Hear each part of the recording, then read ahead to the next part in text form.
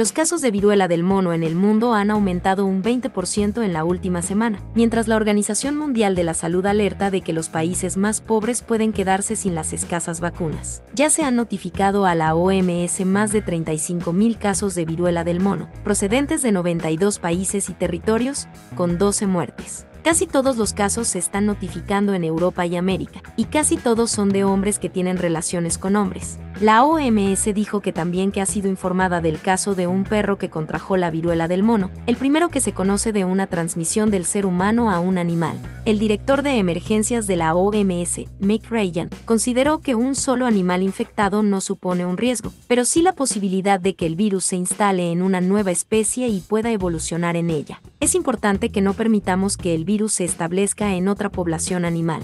Una sola exposición o contagio de un animal en particular no es inesperado, dijo Ryan. Yo soy Dalia y síguenos en Noticias Tendencia.